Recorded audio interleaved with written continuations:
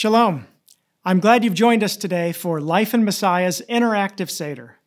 My name is Levi Hazen. I have the privilege of serving as the Executive Director of Life in Messiah and as your host for today's Passover experience. At Life in Messiah, we've been laser focused on sharing God's heart for the Jewish people since 1887. We are committed to sharing the good news of Messiah Yeshua with Jewish people all over the globe. We stand against anti Semitism in all its forms and edify the church with sound Bible teaching.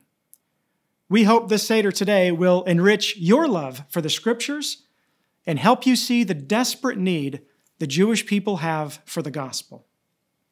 Now, before we begin the Seder, I want to make sure that you have a Haggadah. If you don't have your own copy of this helpful booklet, I encourage you to pause the video, open a new browser, and head over to lifeinmessiah.org forward slash Seder. On our site, you can download your very own copy for free. Once you've got that in front of you, you're ready to resume the video. Today, I will lead us through the Passover Seder experience, teaching as we go, and I encourage you to participate with me as we explore the different elements on the Seder table and learn from this ancient celebratory meal. Before we begin, let's pray. Lord, we thank you so much for the wonderful picture of redemption that, that we see from the Passover all the way through the sacrifice of your Son, the Passover Lamb, Jesus Messiah. And so we just thank you, Lord, for the opportunity to participate in this meal and to learn from this experience. And so we pray that you would open our eyes to new things today and help us be encouraged from what we learn. In Jesus' name, amen. Now, if you have your little booklet in front of you, I'm going to invite you to flip over to the back side, the side that's all blue. There are two words here that we want to be familiar with today. The first, as you can see, is the Hebrew word Seder. The Hebrew word Seder simply means order. Why is this a Seder meal? Because it's an ordered meal. And we'll see that as we go along. Throughout centuries of dispersion, Jewish people have celebrated Israel's oldest celebration or holiday with a Passover Seder meal. The other word you see on the back page there is the Hebrew word Haggadah, and that simply means retelling. Because every single year, Jewish communities around the world retell the Passover story in an effort to remember what God did when He brought the Israelites out of Egypt, in an effort to memorialize His faithfulness to the Jewish people and to the nations. So, you have your Haggadah in front of you, and if you would turn to what you likely would turn to as the front page, it's page 52 in your booklet there. We'll cover just a few more things before we dive in. First of all, you may have already noticed in leafing through the book that it appears to be printed backwards. However, as some of you already know, Hebrew is read from right to left. Therefore, it's not really backwards to the readers of the original language. Now, you'll also see that we have different words in the Haggadah that really don't make any sense. So, what you see there is we've tried to provide a transliteration of the Hebrew word. Uh, and it helps those wishing to gain an ear for the language of the Bible. You'll also see throughout the Haggadah that we have different symbols. There's an hourglass symbol where we've tried to mark that this is a period where God is at work in history and on the biblical calendar. You'll also see the picture of a lamb. This is a direct connection to the Passover lamb himself, Messiah Yeshua. We also have the picture of a menorah, and that indicates that that particular part of the service is traditionally part of the Jewish tradition and then you, of course, see the Star of David with the fish symbol in the middle. That indicates that this is a direct messianic connection between the Passover Seder experience as well as to Jesus. You'll also notice that we've chosen to include a dash in the words God and Lord. We do this to preserve the sanctity of the name of the Holy One. Why would we do that in a Passover meal? Because our observant Jewish friends neither write nor pronounce the name of God. And so, therefore, in an effort to respect that tradition, we have also added a dash in the words God and Lord. So, I would encourage you throughout the meal to really safeguard this book and watch out for any grape juice spilling. Now, to begin with, let's flip over to the actual first page of the Haggadah. Much of today's ordered service will follow the Haggadah. And generally, you'll be able to read along with me as we go through this wonderful celebratory meal together. Starting at the top of page three, we read Passover is a joyful time of celebrating the faithfulness of the God of Israel in redeeming his people from bondage. When the Hebrew people were slaves in Egypt, God actually instructed them This Passover day is to be a memorial for you, and you must celebrate it as a festival to the Lord.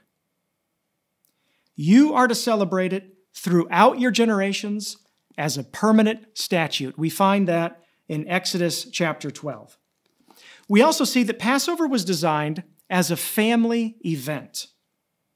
The scriptures tell us that for the Jewish people, they are to celebrate it as a family so that it could be passed on from generation to generation. Now, Jewish and Gentile believers in Messiah Jesus have been united by faith. We see this in Ephesians chapter 2. But from the very beginning, the Lord made conditional provision for non Jewish or foreigners to participate in the Passover meal. And it's also amazing that in Messiah, our Jewish friends and Gentile friends are one and the same in understanding that Yeshua has fully met the demands of the Torah or the law. Today, it is our joyful privilege to celebrate the Passover together, remembering the historical significance of God's redemption of Israel from slavery in Egypt. Also, I hope today that you'll be able to see a completed picture of the blood of the Lamb of God applied for our redemption to bondage and sin. And also, I hope today that you'll be able to see the wonderful connection between the Passover meal and communion. Now, at the very first Passover, God gave specific instructions to the Israelites. He told them that they were to select an unblemished, year old lamb on the 10th of the month of Aviv. The lamb was to be watched until it was finally slaughtered on the 14th of the month and it had to be watched to ensure that it was without defect.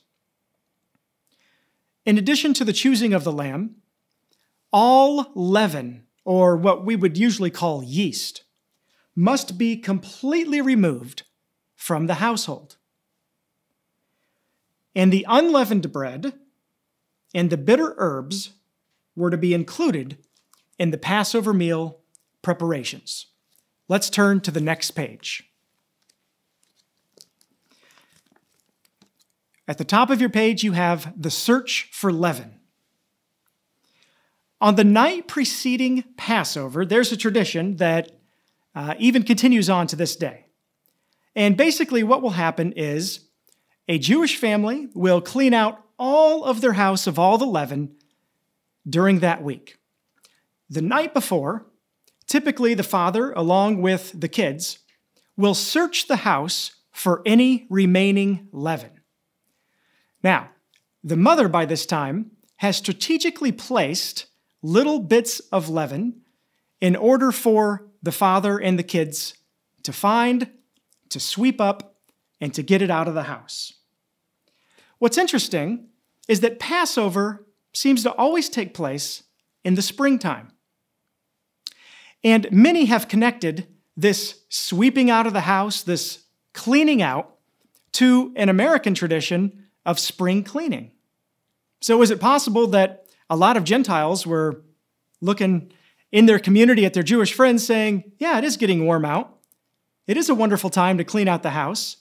And so began the tradition of spring cleaning? It's possible. Now, usually every Jewish holiday, at least the ones that are celebratory in nature, begins with the lighting of the candles, and that is certainly the case with Passover. Typically, it's the mother of the household that comes and lights the candles and says a blessing. So I don't have my mom here today, but I'm happy that my wife is here, and she is the mother of our household. And so I've invited my wife to come on up, to light the candles for us, and to say the Hebrew blessing.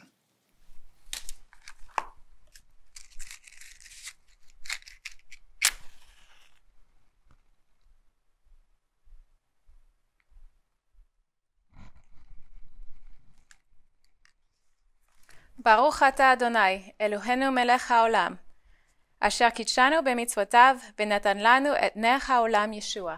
Blessed are you, Adonai our God, King of the universe, who has set us apart by his commandments and has given us the light of the world, Yeshua. ברוך אתה אדוני, אלוהינו מלך העולם, שהחיינו וקימנו והגיענו לזמן הזה. Blessed are you, O Lord our God, King of the universe, who has sustained us, preserved us, and enabled us to reach this season. Amen. Thank you. Now, that the candles have been lit, our Passover meal can officially begin. If you would turn the page with me, and we are ready to fill our first cup. As I mentioned to you before, this is called a Seder meal, and that means it's an ordered meal. There's a specific order by which we go through things. And the meal is really based around four cups. And so you should have four cups in front of you. And this first cup corresponds to an action that God promised in Exodus chapter 6, verses 6 and 7. It's referred to as the cup of sanctification or blessing. In Exodus 6 6, God says, I will bring you out from under the burden of the Egyptians. So, now's the time to go ahead and fill that first cup.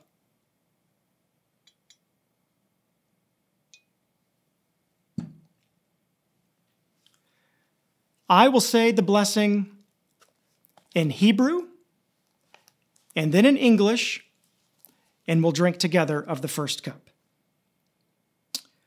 Baruch atah Adonai Eloheinu melech haolam, borei pri hagefen. Blessed are you, Adonai our God, King of the universe, who brings forth the fruit of the vine. Amen.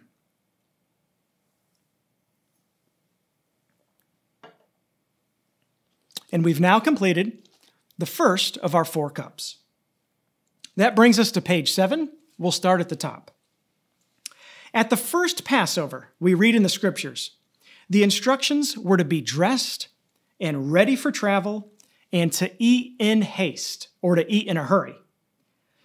Today, because Jewish people don't have to eat in a hurry and escape Egyptian slavery, overstuffed pillows or chairs are actually used to demonstrate the contrast between present leisure and comfort and the state of hurry back then. Today, the instruction to drink in a reclining position reflects this current tradition. Now, during the Last Supper, Yeshua celebrated a Passover meal with his disciples. And we see from John 13 23 that the one Jesus loved reclined against him. Jesus and his disciples were likely seated at a very low table on the floor, perhaps with things like cushions and other soft items so that they could recline comfortably. Therefore, John would have been seated next to Jesus, and it would have been very natural for him to recline against him. It's a very different picture from what we see in the common portraits of the Last Supper, where everyone is seated at a very high table and they're all in different chairs and so forth. And in that depiction, it would have been quite awkward for John to lean against Jesus. However, it's much easier to picture if we know the historical context, and that is that they were likely all seated on the floor at a very low table, reclining on cushions. Now, we see in the middle of page seven the traditional washing. Washing is for cleanliness, and it reminds us of our impurity before a holy God. We see that even Aaron and his sons washed in the basin before approaching the altar in the tabernacle in Exodus chapter 30. Now, in Jesus' day, in that upper room where the Passover meal was prepared, we see Jesus actually washing the feet of his disciples. He says, So if I, your Lord and teacher, have washed your feet, you also ought to wash one another's feet. For I have given you an example that you should do just as I have done for you. And if Jesus, God in the flesh, is willing and able to humble himself to the point of washing the dirty, smelly feet of his disciples, surely that is a wonderful example for us, and we should do the same with our fellow brothers and sisters. If you would turn with me to page eight, we are ready to start exploring more of the elements here in front of us. The first element that we come to is karpas. This is the word for parsley. So hopefully you have some parsley right there in front of you and we can partake together. Any fruit of the earth that's not bitter may be eaten, but traditionally we do use parsley. The green parsley reminds us of the hyssop that was used to apply the blood to the doorposts and lintels as God commanded in Exodus chapter 12. And what's going to happen here is that we are going to take a little bit of the parsley, and you should also have some salt water, which is what I have right here. We're going to dip the parsley into the salt water, and then we're going to eat it. Now, what does the salt water remind us of? Well, typically it's the tears that were shed by the Hebrew slaves. Uh, obviously, Israel had a very difficult time, enduring 400 years of bondage and slavery at the hands of the Egyptians. So, let's dip it together. I'll say the blessing in Hebrew and then in English, and we'll eat together. Baruch atah Adonai Eloheinu melech haolam, Borei Pri Ha'adamah. Blessed are you, Lord our God, King of the universe, creator of the fruit of the earth.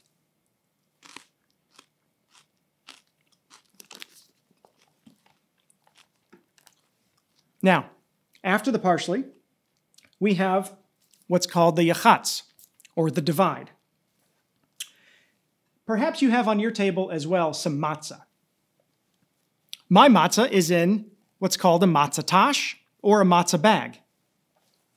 And within the bag, I have three different compartments, each holding a piece of matzah. So, what I'd like you to do is to go ahead and remove the middle piece of matzah from this bag.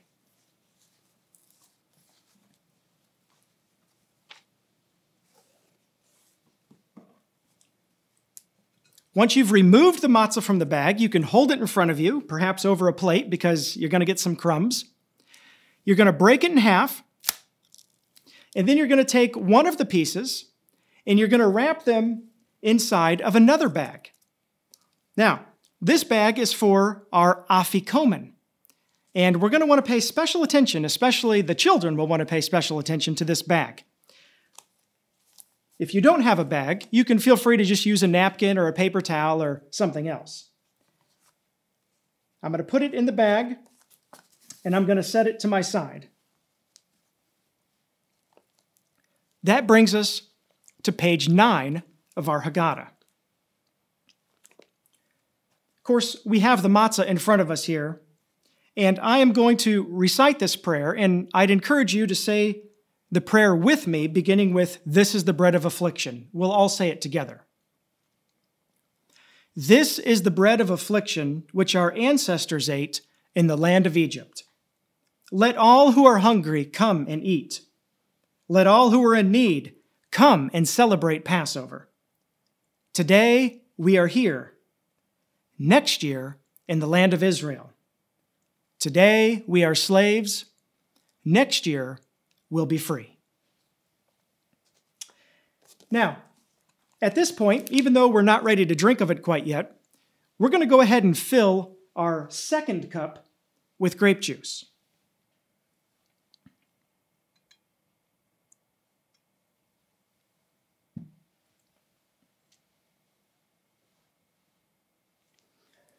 And instead of continuing on uh, as the Haggadah advises us to do here, we are actually going to break away from the Haggadah moment, and we are going to go directly to Exodus chapter 12, where I am going to read the Passover story uh, just so we can be in the right frame of mind today. So if you have your Bible in front of you, go ahead and turn with me to Exodus chapter 12. Otherwise, we'll have the words on the screen.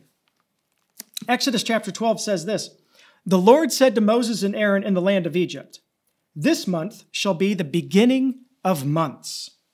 It shall be the first month of the year for you. So we see right away in verses 1 and 2 that God used the Passover event to begin the calendar year. Verse 3 Tell all the congregation of Israel that on the tenth day of this month, every man shall take a lamb according to their father's houses, a lamb for a household. And if the household is too small for a lamb, then he and his nearest neighbor shall take according to the number of persons. According to what each can eat, you shall make count for the lamb. Your lamb shall be without blemish, a male a year old. Now, to be without blemish means it is without defect.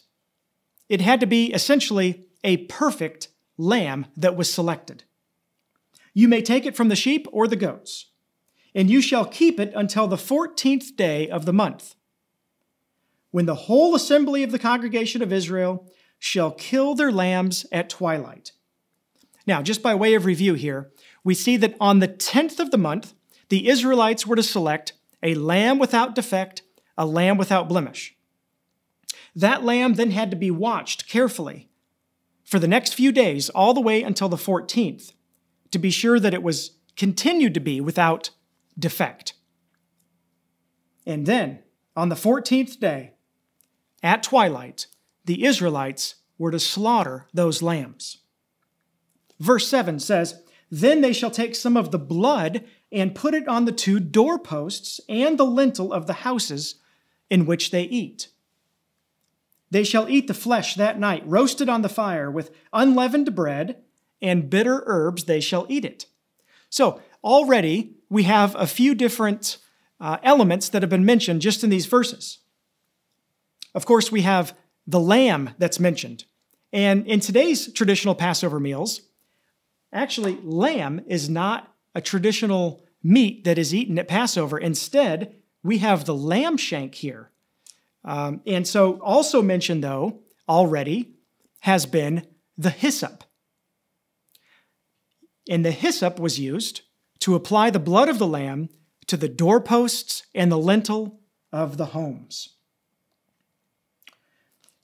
They shall eat it, the flesh that night, roasted on the fire, with unleavened bread. What's the word we use for unleavened bread? It's matzah. That's how we get matzah in the Passover meal. Do not eat any of it raw or boiled in water, but roasted, its heads with its legs and its inner parts. That brings us to verse 10. And you shall let none of it remain until the morning.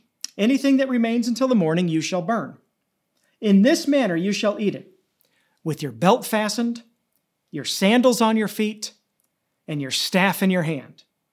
And you shall eat it in haste, for it is the Lord's Passover. For I will pass through the land of Egypt that night, and I will strike all the firstborn in the land of Egypt, both man and beast. And on all the gods of Egypt I will execute my judgments. I am the Lord. The blood shall be a sign for you in the houses where you are. And when I see the blood, I will pass over you. And no plague will befall you to destroy you when I strike the land of Egypt. This is how we get the term Passover. Is because God specifically instructed the Israelites to slaughter the lamb, to apply the blood of the lamb to the doorposts and lintels of their homes, and then when God went through to strike the firstborn of Egypt, he would pass over those homes where he saw the blood of the Lamb. Verse 14 says, This day shall be for you a memorial day, and you shall keep it as a feast to the Lord throughout your generations. As a statute forever, you shall keep it as a feast. Seven days you shall eat unleavened bread, or matzah. On the first day you shall remove the leaven out of your houses. If anyone eats what is leavened from the first day until the seventh, that person shall be cut off from Israel. So we see there a serious crime is keeping leaven in your home during this period. When we get to some New Testament connections, that explains why the New Testament uses leaven and sin together. Verse 16 says, On the first day you shall hold a holy assembly, and on the seventh day a holy assembly. No work should be done on those days, but what everyone needs to eat, that alone may be prepared for you. And you shall observe the feast of unleavened bread, which today is really combined with Passover. For on this very day I brought your hosts out of the land of Egypt. Therefore, you shall observe this day throughout your generations as a statute forever. Verse 18. In the first month, from the 14th day of the month at evening, you shall eat unleavened bread until the 21st day of the month at evening. For seven days, no leaven is to be found in your houses. If anyone eats what is leavened, that person shall be cut off from the congregation of Israel, whether he is a sojourner or a native in the land. You shall eat nothing leavened. In all your dwelling places, you shall eat unleavened bread. And so, just that portion of Exodus chapter 12 really gets us in the right frame of mind to celebrate the Passover meal. So now we are ready in our Haggadah for page 10. And this is the Ma Nishtana portion of the Seder meal. Essentially, four questions. And typically, it's the youngest child able to read that recites these four questions. And therefore, that fulfills the biblical injunction to tell our children about the flight from slavery to freedom. So, I don't have my two year old son with me here today. However, I'll read through these questions and you can follow along in the Haggadah. First, why is this night different from all other nights?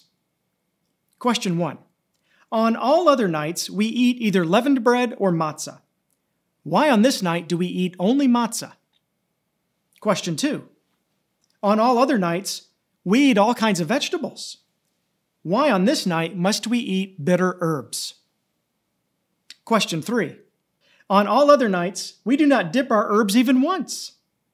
Why on this night do we dip them twice? Once into salt water and once into sweet fruit. Question four. On all other nights, everyone sits up or reclines while eating. Why on this night do we all recline? And typically there's a song that goes along with these four questions as well. Uh, we will skip that in the interest of time this evening, but it's a wonderful song, and I'm sure you can find it on YouTube. Now, because of our time limitations, we're going to skip ahead uh, quite a ways in the Passover Haggadah However, I'd encourage you, after our time together today, to go back and read through some of these things that we're skipping over, as it's educational and greatly edifying. Let's skip all the way over to page 20 of our Haggadah. We are ready for the 10 plagues. Now, the purpose in the plagues, as we see in Exodus chapter 7 through 11, is clearly seen in Exodus 12 12, where God says, I will execute judgments against all the gods of Egypt. You see, the Egyptians were polytheists, and God's explicit intent was to demonstrate his supremacy over the idols of Egypt. His audiences were Pharaoh, who of course stated, I don't know the Lord, as well as the Egyptians and the Hebrews. Ultimately, the world would come to know about what God did to the Egyptians in order to rescue the Israelites out of bondage. So, we have 10 plagues, and you can see in your Haggadah there, those 10 plagues are listed one right after the other in the purple box. Now, you have your second cup poured already. So, go ahead and place that right next to you. And I would encourage you at this point maybe to grab a napkin or a paper towel, something like that, because we're going to dip our pinkies in the grape juice. Why would we do that? Well, essentially, the Bible tells us that we should never really rejoice in anyone's misfortunes. And so the Jewish community has built that principle into the Passover meal. So, although we're so glad that God fulfilled his promises and rescued the Israelites out of Egypt, we don't really want to gloat or have a lot of joy at the pain that they experienced at the hands of God Almighty. Therefore, because the second cup is the cup of joy or the cup of rejoicing, we are going to lessen our joy just a little bit out of respect for, again, all the pain that the Egyptians went through. So here's what will happen I will read through the 10 plagues, I will say the plague, and as we do that, we're going to dip our pinkies together and then just get one drop out of the cup, thereby lessening our joy. So let's do this together. I'll say the specific plague, and you repeat after me. Blood, frogs, lice, flies, cattle disease, boils, hail, locusts, darkness, and the death of the firstborn. So now we have officially lessened our rejoicing because of the pain that the Egyptians endured. That brings us over to page 21 of your Haggadah. This is where we get to Dayenu. Dayenu is a wonderful Hebrew word, and it simply means it would have been enough. In other words, if all God had did was rescue us, it would have been enough. But Dayenu carries the sense, but he did so much more. And so we want to celebrate all that God did when he rescued the Israelites out of Egypt. Now, if I had a good voice, I would sing the traditional Dayenu song for you. But God has not gifted me with any kind of a singing voice. Therefore, we've put together something special for you, and I hope that you'll sing along with us in this traditional song, Dayenu. So before we get into the actual singing, we're going to go over the Hebrew words so that you're familiar with them and so you guys will be able to sing along with us. So the first one is, of course, Dayenu. Everybody say, Dayenu. Great. It means it would have been enough. So the, if you look at the verse here, the first verse, it says, I'll, I'll say the words and you repeat after me. Ilu, Hotzi, Hotzianu, Hotzianu mi Mitzrayim. Hotzianu mi Mitzrayim dayenu. Great. And the chorus is easy. It's Dai Dayenu. And then we have the second verse, right? Repeat after me. Ilu Natan Natan Lanu Natan Lanu et HaTorah. Natan Lanu et HaTorah. Dayenu. All right, you got it? So we're gonna I'm gonna sing the chorus for you one time so you get an idea of how the flow goes, and then after that we'll start and we'll sing the whole song together. So here's the chorus. Die die enu, die die enu, die die enu, die enu, die enu, die enu, die die enu, die die enu, die die enu, die enu, die enu. Wonderful. All right, so now we're going to start on the first verse. We'll do the first verse twice, the chorus, and we'll do the second verse twice, and then back to the chorus. Okay? So you guys follow along, sing at home. It's a great time, a great experience to have at Passover. אילו הוציא הוציאנו, הוציאנו ממצרים, הוציאנו ממצרים דיינו. אילו הוציא הוציאנו, הוציאנו ממצרים, הוציאנו ממצרים דיינו.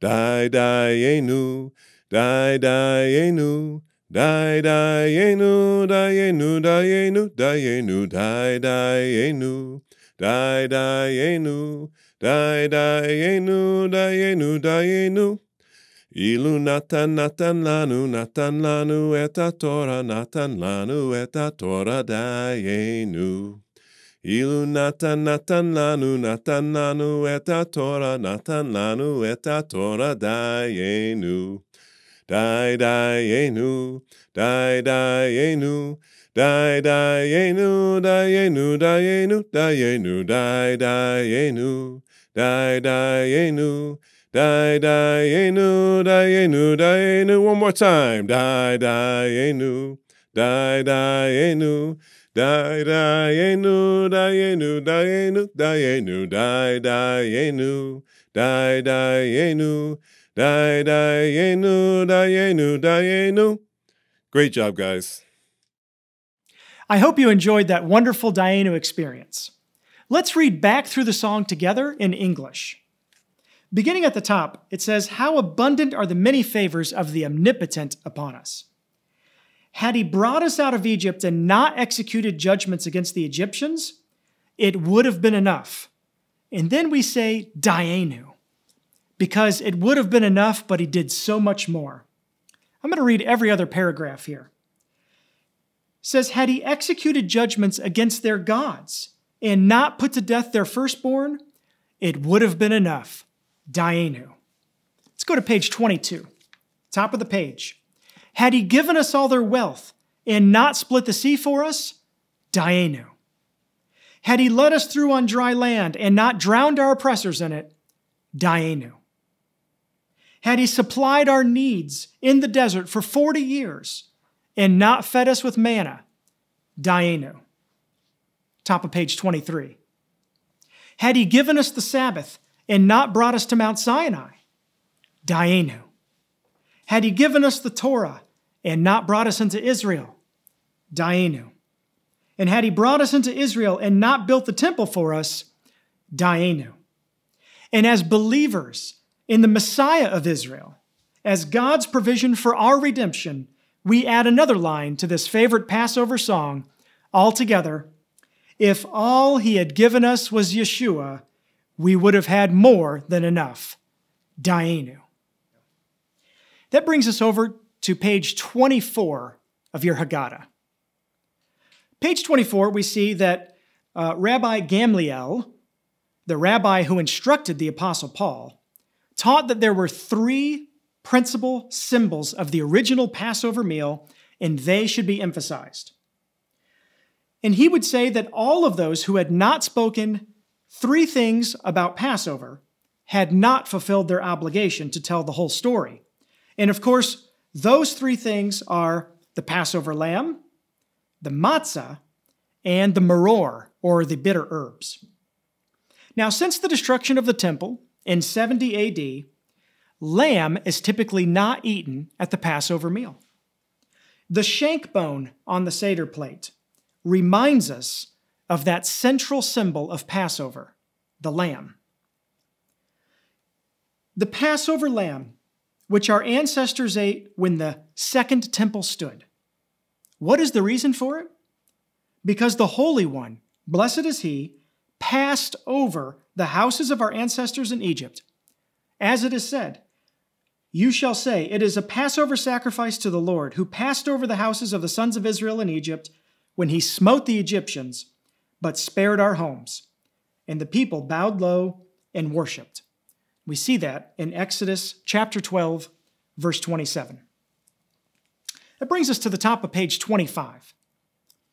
We see a lot of Passover connections in the New Testament. The authors in the New Testament were very familiar with Passover. Why? Because they were Jewish and they celebrated Passover on a yearly basis. In John 129, it says this The next day, John saw Jesus coming toward him and said, Here is the Lamb of God who takes away the sin of the world. Now that's fascinating. But because the New Testament is written and happening in a Jewish context, John's listeners, his hearers, those standing there that day, would have understood the import of what John was saying about a Lamb of God taking away the sins of the world. This is a direct connection to Passover.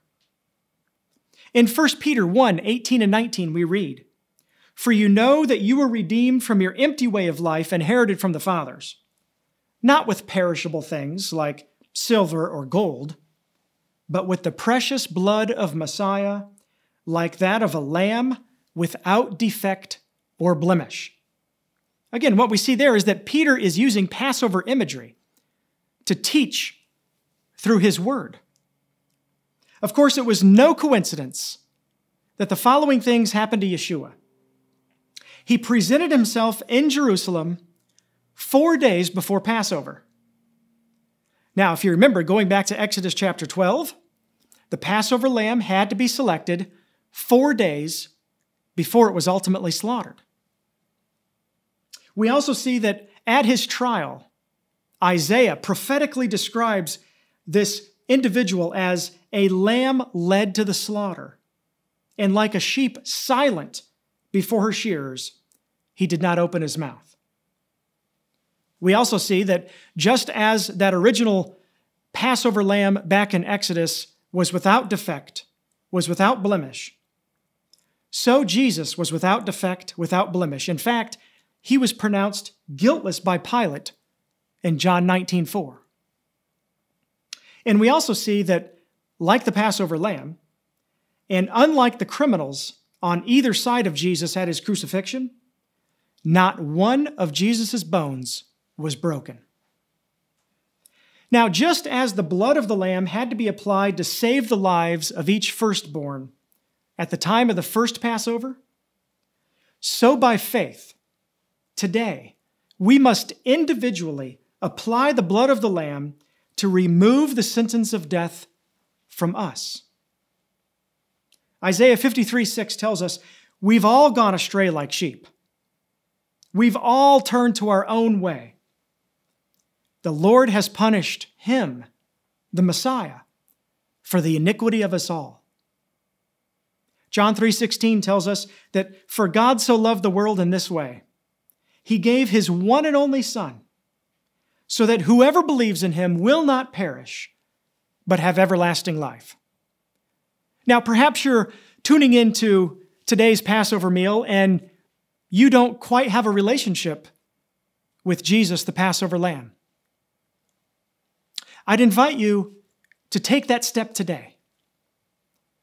And it's simply by faith. You see, just as those first Israelites had to actually apply the blood of the Passover lamb to the doorposts and lintels of their homes, the same is true with us today that we, by faith, apply the blood of Jesus to our hearts today. And how do we do that? Scriptures tells us that it's simply by believing. Believing only in Jesus, that He is God in the flesh, that He was crucified, and on the third day, God raised Him to life, proving He was, in fact, God's Messiah. I hope you'll take that step today, whether you're Jewish or Gentile. This offer, this gift of God, is available to all of us. Now, this brings us over to page 26 of our Haggadah. Matzah. What does it symbolize? We've got our matzah right here. Well, as we know, there was not sufficient time for the dough of our ancestors to rise when the supreme King of Kings, the Holy One, blessed be He, revealed Himself to them. As it is said, they baked the dough which they had brought out of Egypt into the cakes of unleavened bread, for it had not become leavened, since they were driven out of Egypt and could not delay, nor had they prepared any provisions for themselves. We see that in Exodus chapter 12, verse 39. As I mentioned earlier, leaven is used in the New Testament to symbolize sin. In 1 Corinthians 5 7, we read, We are instructed to clean out the old yeast so that we may be a new batch. In other words, we need to ensure that we are living holy lives. We need to purify ourselves from all sin and walk in righteousness. It also says, a little yeast leavens the whole lump of dough. We see that in Galatians 5 9. What Paul is teaching us there in Galatians is that just a little bit of sin in our communities has a big impact on everybody. And Passover is such a wonderful time to examine ourselves and to ask the Lord, Do I have any leaven in my house? If so, Lord, help me get rid of that leaven so that we can observe the Passover in purity and in thankfulness. This brings us to page 27 of the Haggadah. Why do we eat bitter herbs? Because the Egyptians embittered the lives of our ancestors in Egypt, as it is said in Exodus 1:14, and made their lives bitter with difficult labor in brick and mortar and in all kinds of field work. They ruthlessly imposed all of this work on them. As we know, life is full of tears and bitterness. This is a sin cursed world. Yeshua sympathizes with our plight. He was despised and rejected by men, a man of suffering who knew what sickness was. He was like one people turned away from. He was despised, and we didn't value him. We see that again in Isaiah chapter 53, verse 3. That this Messiah would not be welcomed by everybody. Indeed, he would be rejected. People would turn away from him. It's no surprise that 700 years after Isaiah penned those words, the Messiah came and by and large, he was rejected by humanity. Of course, there were many who believed in him at the time, but the vast majority of people rejected him, just as Isaiah prophesied they would. This brings us over to page 28. In every generation, each individual is obligated to consider as though he or she had personally gone out of Egypt as it is said, On that day, explain to your son, this is because of what the Lord did for me when I came out of Egypt. Not only did the Holy One, blessed is He, redeem our ancestors, but also us along with them, as it is said, But He brought us from there in order to lead us in and give us the land that He swore to our fathers. We therefore are privileged to thank, to praise, to adore, glorify, exalt, honor, bless, and reverence him who performed all of these miracles for our ancestors and therefore for us. Indeed, when God took the Israelites out of Egypt, did you know it was a fulfillment of his promises that were made 430 years previous?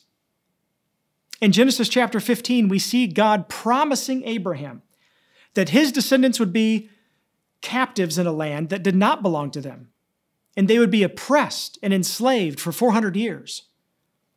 But then at the end of that 400 years, God told Abraham he would bring them out. And so when we read in Exodus of God's bringing the Israelites, freeing the Israelites out of bondage, it is a fulfillment of prophecy. It is a fulfillment of promises that God had made to Abraham, and therefore all of us can celebrate as we remember the faithfulness of God. In fact, let's read the bottom portion of page 28 together. You brought us from bondage to freedom, from sorrow to joy, from mourning to a festive day, from darkness to great light, and from slavery to redemption. Now, if you would, we're going to skip a few pages again and head to drink our second cup on page 31. As I mentioned previously, this is the cup of rejoicing. It's connected to the promise found in Exodus chapter 6, verse 6, when God promised, I will deliver you from the forced labor of the Egyptians. Again, I'll say the blessing in Hebrew and then in English, and we'll drink together. Baruch atah Adonai Eloheinu melech haolam, borei pri hagefen. Blessed are you, Lord our God, creator of the universe, who has created the fruit of the vine. Amen.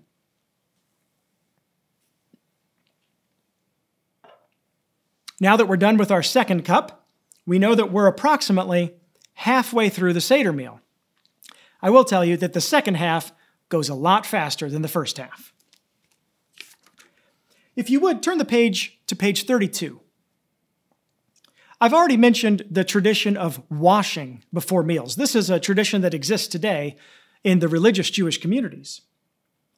Earlier in his ministry, Jesus had encountered those who were zealous for this particular tradition. And they wanted to know why Jesus' disciples did not ceremonially wash their hands before eating. What was his response? Quote, Nothing that goes into a person from outside can defile him. But the things that come out of a person are what defile him. We see that in Mark chapter 7, verse 15.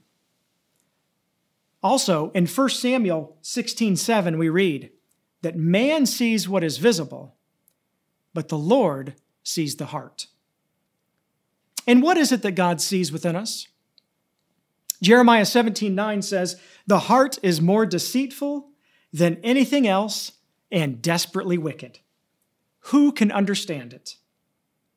No wonder a repentant King David cried out to God, Wash away my guilt and cleanse me from my sin. Now, it's time for the prayer over the bread, the motzi. You should have your matzah there in front of you. And if we hold that up, I will go ahead and say the blessing in Hebrew and then in English, and we'll break of it together and eat. Baruch atah Adonai Eloheinu melech haolam hamotzi lechem min haaretz. Blessed are you, Lord our God, King of the universe, who brings forth bread from the earth. Amen. I said, go ahead and break a piece off.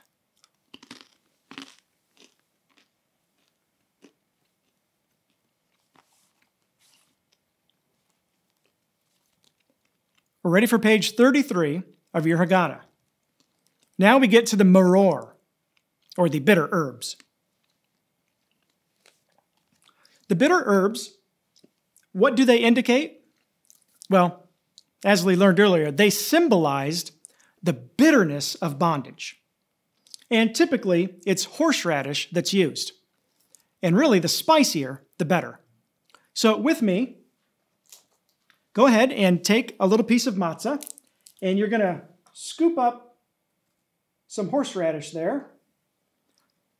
And we're going to partake together remembering the bitterness of bondage. And if you already believe in Messiah Yeshua as your Passover lamb sacrifice, may this also be a reminder to you of the bitterness of bondage of sin. Sin oftentimes just takes hold and entangles us, the scriptures say. And when we believe upon Jesus the Messiah, we don't have to be in bondage to sin any longer. And what a wonderful thing that is. So, together, let's partake of the matzah and the bitter herbs, the maror.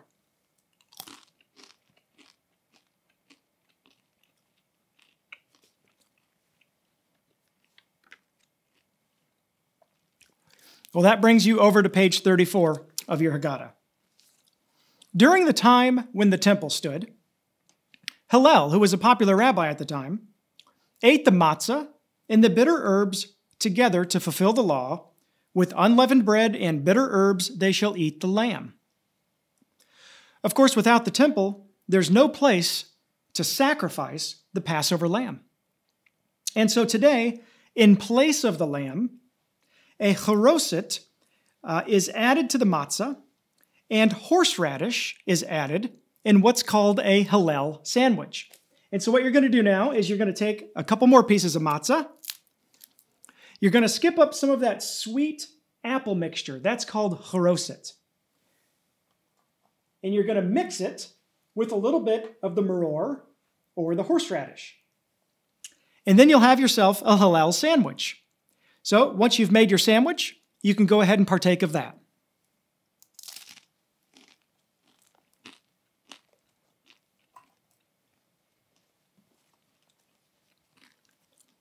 So I mentioned the charoset. What is the charoset?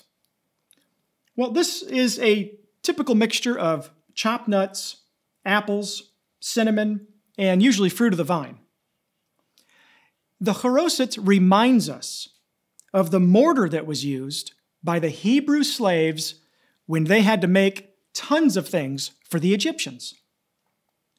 You'll also see on this Seder plate that we have an egg here. It is traditionally on the Seder plate, and among the interpretations, is that the hard boiled egg reminds us of the destruction of the temple, which was destroyed by fire in 70 AD. Now, theories are wide and vast on why an egg reminds us of the destruction of the temple, ranging from there are three different parts to the egg, from the shell to the white to the yolk, and just like there are three different parts of the temple. Uh, also, it's said that a hen lays an egg daily, and there was a sacrifice daily at the temple. Um, there are many different theories as to why an egg is included, but we've got one here today. Now, it's at this point that if you've prepared yourself uh, a full meal to eat, it would be a wonderful time to go ahead and pause the video, to eat the meal with your family, uh, discussing what you've learned thus far and remembering God's faithfulness to his covenant promises. We'll be back with you right after the meal.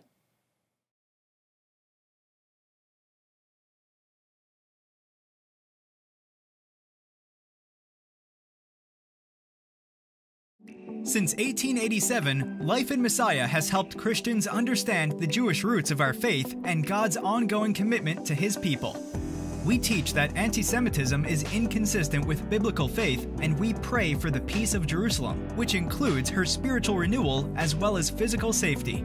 In all we do, our priority is to share the gospel message.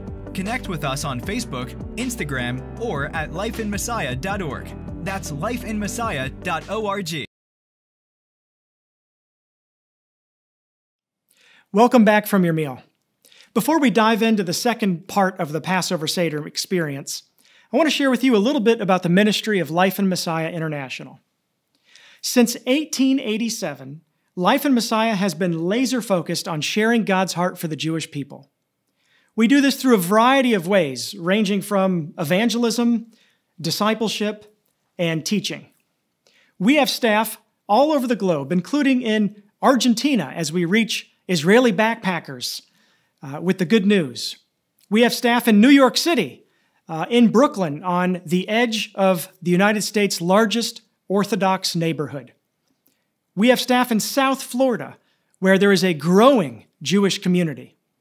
And of course, in Israel, where we're reaching out to the down and out of society, providing them with not only food, but a shelter where they can live in and be safe.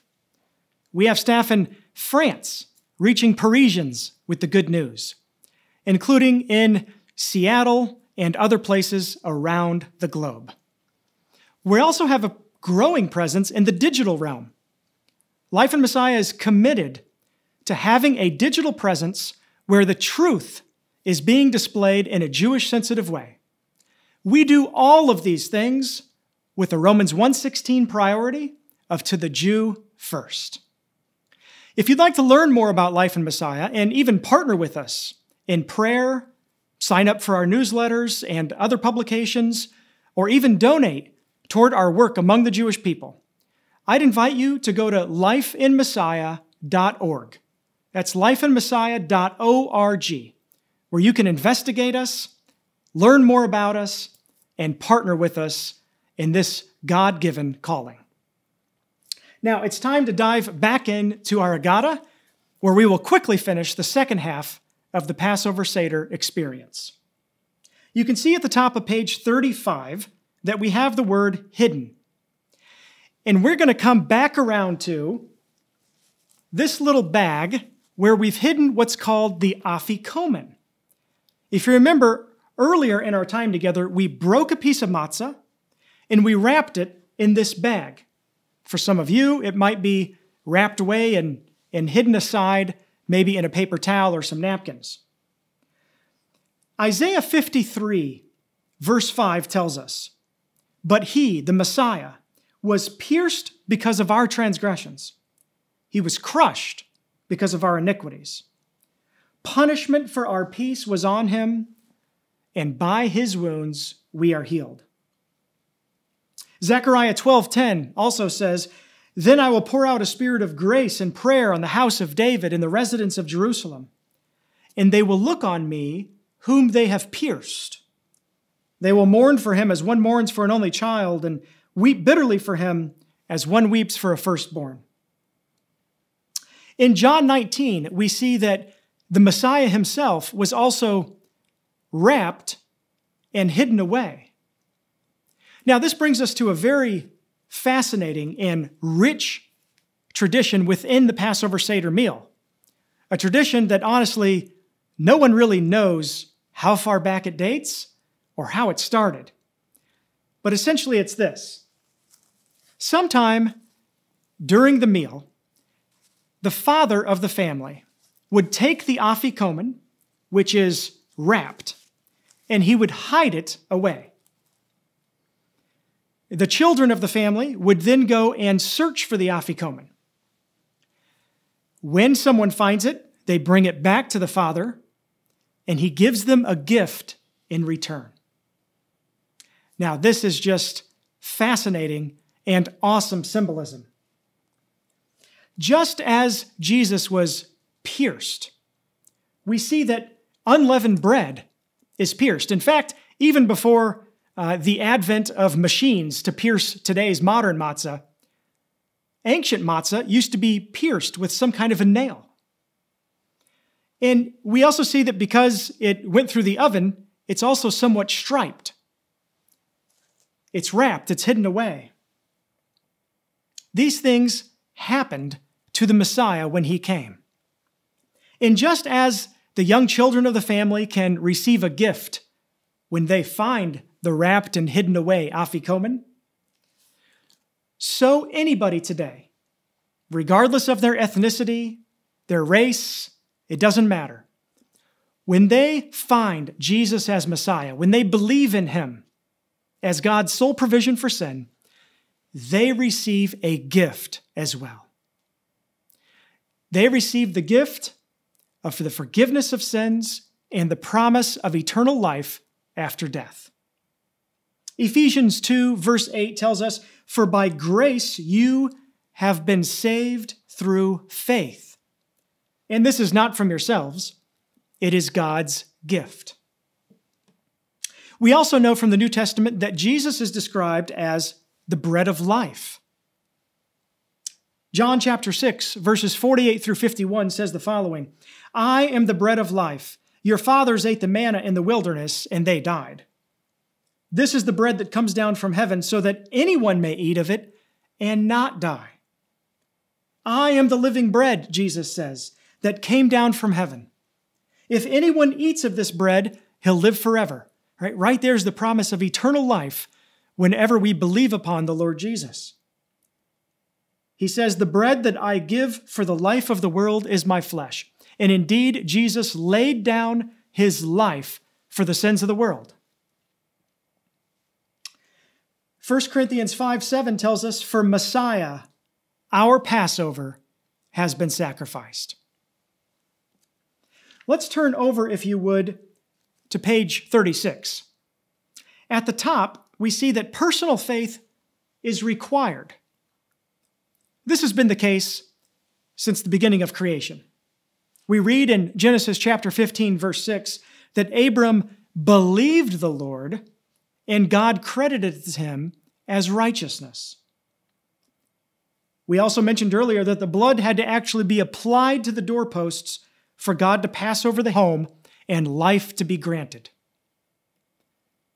Romans chapter 10, verse 9 tells us that if you confess with your mouth, Yeshua is Lord, and believe in your heart that God raised him from the dead, you will be saved. At the conclusion of the Last Supper, which again was a Passover meal, we see that Yeshua took bread, gave thanks, broke it, and gave it to them and said, This is my body which is given for you. Do this in remembrance of me. If you would, turn over to page 38. We're ready for our third cup. So at this time, go ahead and take another cup and pour yourself some grape juice.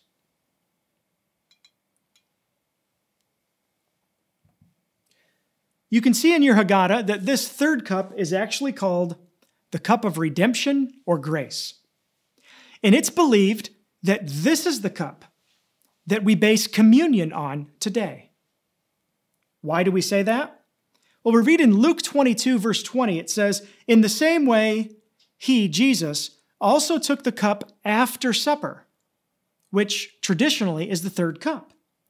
And he said, This cup is the new covenant established by my blood. It is shed for you. And so the next time that you celebrate communion, I hope you'll remember the strong connection to Passover. Indeed, the communion cup was extracted right from the Passover meal. This particular cup is connected to, of course, another promise in Exodus when God said, I will redeem you, hence the name, the cup of redemption. And it's a very appropriate cup to be the one at Jesus' final supper when he was about to provide redemption for the sins of the world. I'll say the blessing in Hebrew and then in English, and we'll drink together. Baruch atah Adonai Eloheinu melech haolam borei pri hagefen. Blessed are you, Lord our God, King of the universe, who brings forth fruit from the vine. Amen.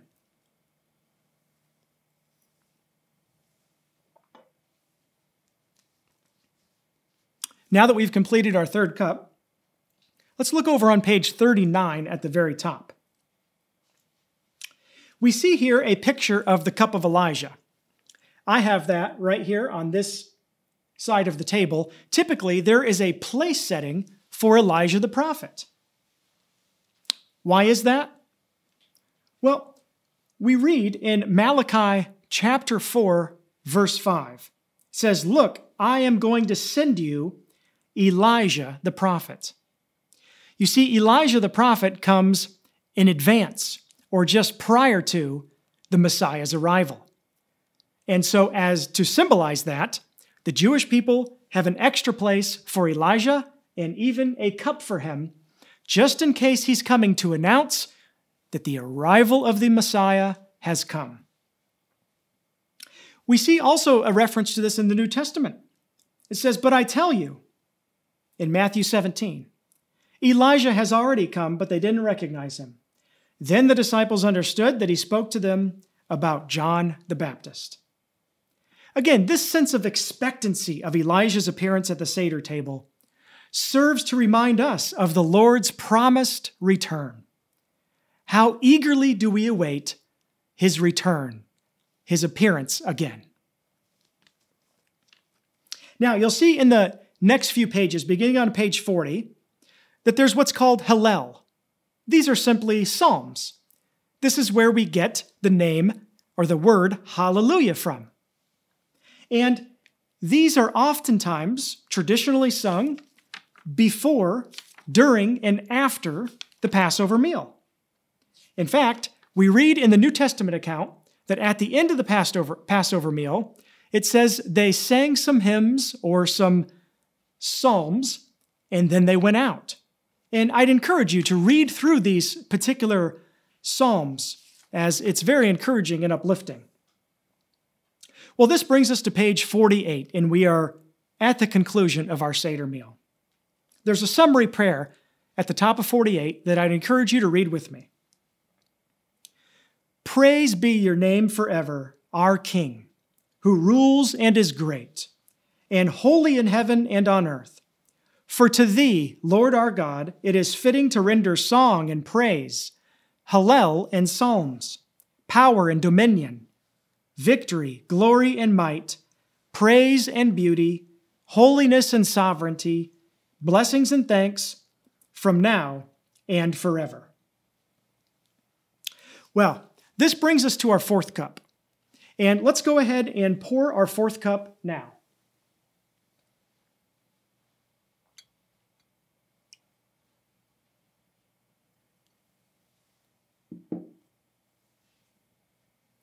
Once you have your fourth cup, go ahead and just sit that on the table in front of you.